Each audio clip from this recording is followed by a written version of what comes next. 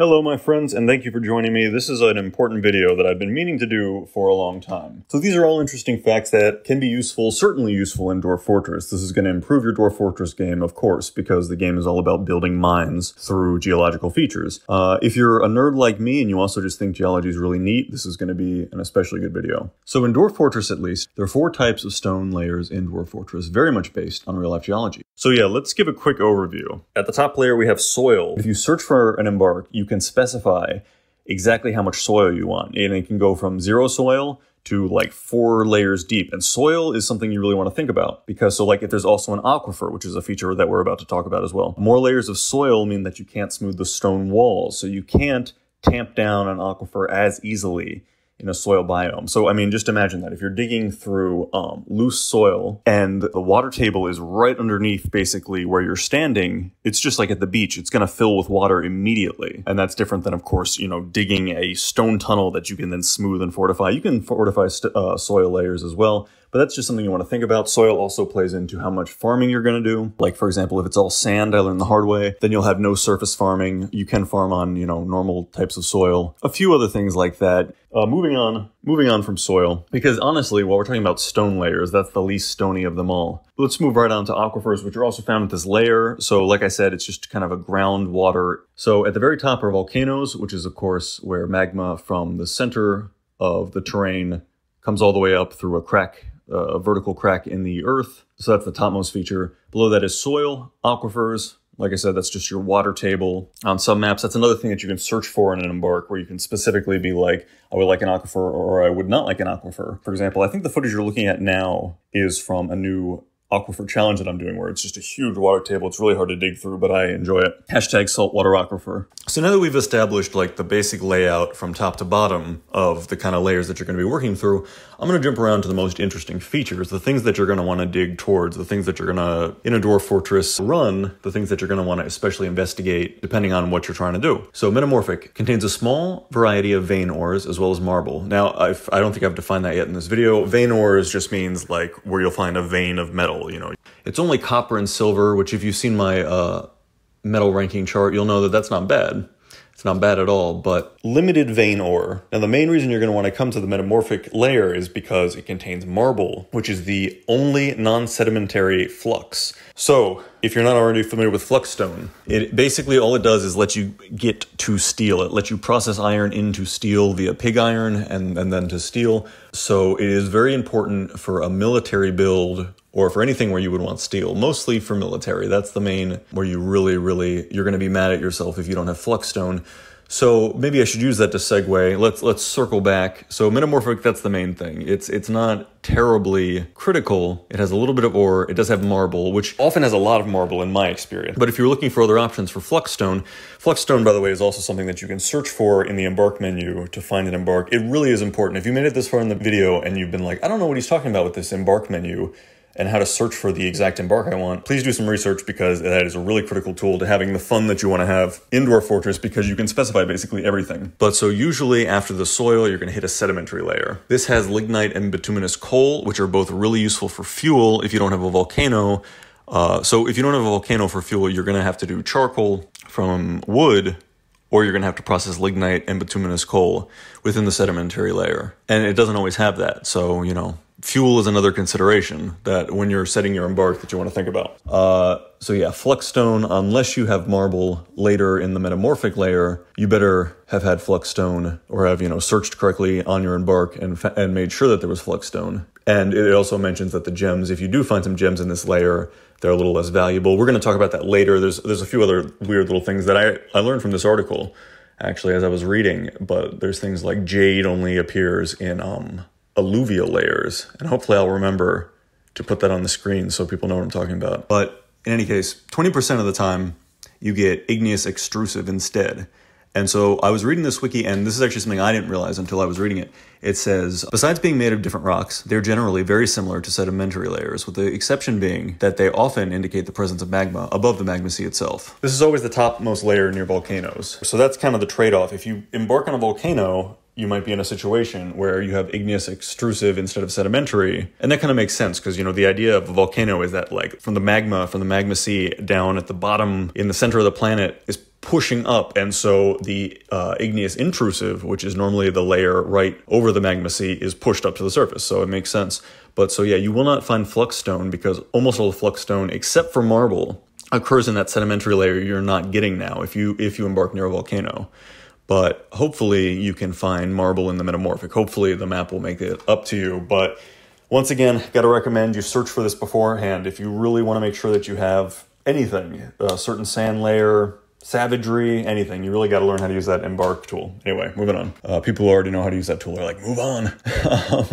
Okay, and so caverns start around, they can, at least in my experience, they can occur at any layer. Uh, the image that is now on my thumbnail, and I'm going to try to post up again here, is um, shows it as occurring kind of slightly after the metamorphic layer. Leave in the comments if that's really the rule, because I feel like I found caverns right on the surface sometimes. Maybe it's just a weird, maybe it is a metamorphic layer. I feel like caverns are are kind of in most layers. It's true that I've never, of course, found one in soil, and I've never found one in sedimentary. I'm not sure.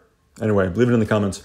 Uh, I'll have to do more research on my own. But then after the caverns, which I've done other videos about those, of course, that's a whole that's a whole series of videos and your metamorphic and your igneous intrusive are going to be the really, really rare gemstones, which dwarven dwarven economy is all about. I'll be honest, I've played Dwarf Fortress for about a decade now, and I still don't have a clear understanding of which gems are in the metamorphic section and which gems are in the um, igneous intrusive. Honestly, I just I'm happy every time I find a gem. I just dig them. I whatever I finds, I keeps. So, uh, but with that being said, I did learn a lot from this wiki page, which is mentioning. So, um, here are the varieties that the game classifies different gems as, and these are useful for a lot of things, for how you would use them, how valuable they are. So, of course, the lowest rarity is synthetic, which is the different types of glass. I made a different video about how to make green glass, clear glass, and crystal glass. Uh, you can check that out on my channel. Uh, but those are synthetic gems. They barely count, basically. They can be used as replacement for gems, but it's like, you know, it's like a piece of piece of plastic instead of a gem. Something interesting about jade that I did want to mention is that it apparently is only found in alluvial zones. And I, I hope I put this up on the screen again. Alluvial. It's a rare word that I didn't know, but it means uh, it's a special biome. Several minerals, ores, and gems are specified to occur at least in part within alluvial layers. Uh, jade is a giveaway, and that's what the Wikia says. Alluvial stone is loose and unconsolidated stone that has been eroded away, smoothed down by water flow, and then redeposited in a non-marine setting. Cases where like a lake existed and then it dried up, or a river existed and then it dried up. So anyway, that's jade. If you find jade, which I have in the past, that's there's a lot of little hints like that where a gem will actually give you a lot of information about what you're digging through if you have this, you know, this knowledge of what it means. So sorting by value, ornamental. These examples are like bloodstone, blue jade, citrine, uh, lapis lazuli, which we know from Minecraft, of course, uh, smoky quartz. Uh, these are all ornamental. That's the lowest level. Actually mixed in with synthetic, which can jockey for low value position with ornamental. So you know, just like at home, you know, stuff is made out of glass or made out of something relatively cheap, but pretty to look at. After that is semi precious, with examples of semi precious being like opals, zircons, spinels, topaz, black opal, blue garnet, stuff like that. Then precious are emeralds, faint yellow diamonds, rubies, sapphires, with rare being special colors of diamonds black diamond, blue diamond, clear diamond, and also in there are star rubies and star sapphires, which are specifically especially nice rubies and sapphires that you find that can be cabochoned for additional value, I think. I'm not sure if it actually does add additional value. Leave it in the comments if that's wrong. I'm just doing my best reading the Wikia here, again, in the deep, deep depths of the Dwarf Fortress lore mine. Okay, but I know what most people are here for. You want a cheat sheet of the four main stone layers. Where do you go for what? And I'm gonna try and spell that out right now. So, when I say main stone layers, I mean we're not counting soil, we're just counting sedimentary or the igneous extrusive layer, depending on your map, and then below that metamorphic, and then below that the igneous intrusive layer. Simple as. So these are these are the only four you have to worry about. And it sounds like based on the Wikia, um, basically you only have to worry about three at a time. So let's just start from the top. So sedimentary, that's most maps the top layer under your soil. What are we looking for? Uh, sandstone, mudstone, shale. These are all kind of uh, you know regular rock salt, lime. Limestone is specifically used in parchment, so look out for limestone because it can do some specific things. I think dolomite is like magma safe. This is another thing that we might look for, might save. Otherwise, the things that you're dredging up from here can basically just be used for buildings or other unremarkable things. So let's talk stone found in the sedimentary layers. Hematite, really important source of iron. Limonite is also an ore of iron. Does it produce anything else? Oh, it's pure. Okay, great. I learned that today. Limonite is pure iron as well. So, sedimentary layer, you're looking for iron, which is one of the best uh, metals that you can have for general purposes. We mentioned earlier bituminous coal and lignite are both important sources of fuel. They can be processed. Gypsum has some economic purpose that I don't remember, but it um, is not usually worth saving. I'll usually toss most of that. Saltpeter, also, if you're interested, magnetite which is also a source of iron. So basically, sedimentary layer, you're going to find your iron one way or another. Gems that we're looking out for are onyx, schorl, agate, sards, more agate, lots of agate, lots of jasper, tiger's eyes, tourmalines. That's the other big one. Tourmalines in the sedimentary level. Fairly common, but can provide some early money as you're beginning to start your fortress. Okay, so let's say that you've started on a volcano or something, or for whatever reason you have an igneous extrusive layer, which as we said, that's when basically the, the magma sea bubbles up to the surface, providing some igneous rock closer to the surface than you would normally expect. Okay, so you'll know you're in a sedimentary layer if your dwarves are digging through sandstone, siltstone, mudstone, shale, claystone, rock salt, limestone, conglomerate, dolomite, chert, or chalk. If any of these sound familiar, you're probably in your sedimentary layer. So now let's talk igneous extrusive. Igneous extrusive, you'll know you're in that layer if you see rhyolite, basalt, andesite, dacite, or obsidian. Those more experienced players would also recognize these. These tend to occur near the magma sea as well. I've also seen them on like beachside oceans. I don't know. I think on my maps, I've noticed that a lot of times volcanoes will come out out of the ocean.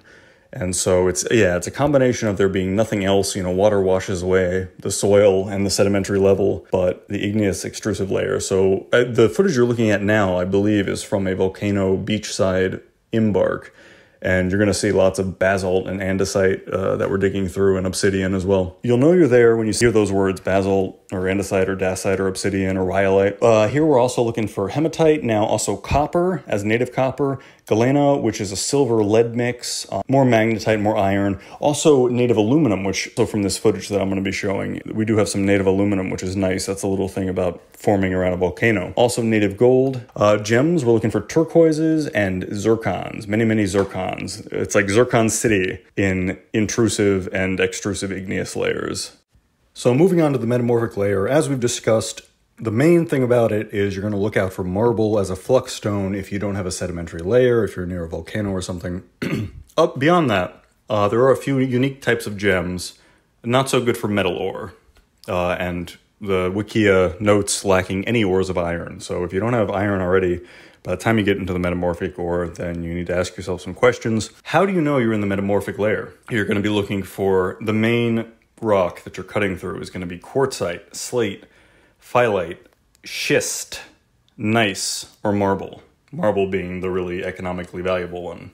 Ores? Okay, interesting. I'm gonna, you know what? I'm gonna make a complaint to the Wikia because it says at the top metamorphic layer however they are generally poor in metal ores lacking any ores of iron but then when i scroll down to stone found in metamorphic layers it notes small clusters of hematite i i think i get it i think the idea being that occasionally hematite will be on the layer of a metamorphic layer that's an iron ore of course but it, you can't count on it you won't find it normally in metamorphic layers no, no beef, Wikia. I love you, Dwarf Fortress Wikia. Uh, you'll also find galena, sphalerite. These are ores, magnetite. This also mentioned the magnetite small clusters, so you know that thing earlier about lacking any iron ores maybe worth editing. And then for gems so metamorphic we're getting when you're in the metamorphic you're down towards the bottom of the map. So you're getting ready for some end game fun some circus and you're really just kind of mostly have the metals you need. You're collecting gems to sell, specialize, and support your economy. But so gems you'd find down here are more valuable. You know, they're harder to get to. That's the dwarf specialty. They go down deep. They get the rare ones. So while you're down there, you're looking for schorls, tourmalines, moonstones, more zircons. Like we mentioned, zircons also occur higher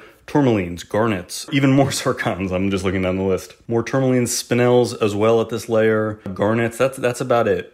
But um, lots of good stuff to cut and to sell to foolish, elven, and human traders who have no idea how easy it is to pluck this stuff out of the earth. And then the only thing left is the igneous intrusive layer, which is basically the stone that sits right on top of the magma sea. So at this point, things are getting hot. We're watching out for magma. The magma sea could be all around us. Um, there's probably scary stuff even beyond the magma sea, if you can even imagine something as scary as that. But so this is where the Earth, the planet, is starting to resist us a little bit. Uh, but it is valuable down there. So how do you how are you going to know you're in an igneous intrusive layer? Well, you should be pretty deep down, of course, but then you're going to be cutting through granite or diorite or gabbro. These are the main stones down deep. Down here you're going to find more hematite, magnetite, some gold, Lapis lazuli forms very deep down, as we know from Minecraft. What is the deal? It's like a real thing. And all video games have agreed that occurs very, very deep under the earth. I guess it's true. But don't quote me on that. I have no idea. The key thing here is that kimberlite. Kimberlite, you're going to want to remember that name. It's in the game, it's kind of a blue gray stone. It's an igneous stone and it's found in veins in layer of gabbro, which as we mentioned in the previous one, so down deep in the igneous um, intrusion layer, down deep towards the magma sea, you're gonna see something called kimberlite inside of big chunks of gabbro. And when you see that, you wanna get really excited because gabbro is the only, I'm sorry, kimberlite is the only source of the rarest gems in the game, including yellow diamonds, black diamonds, red, blue, green, and clear diamonds, um, these occur only, I'm quoting the, quoting the Wikia now, they occur only as individual gems within existing clusters of faint yellow diamonds, which are themselves found only in kimberlite, which is itself found only in gabbro. So that's why you want to go down there. Is some sweet, some serious diamond action starts to happen really close to the magma sea. You know, experiment down down there. You know, just dig through stuff while you're down there. Um, it will only result in fun while you're down there. So enjoy. I think that's everything that I wanted to talk about about Dwarven geology in uh, Dwarf Fortress. So thank you for again for joining me. And if you made it this far, uh, thank you so much for listening. Just like to remind everybody that liking this video and subscribing if you're not already really helps the channel. And yeah, I hope I hope people enjoy.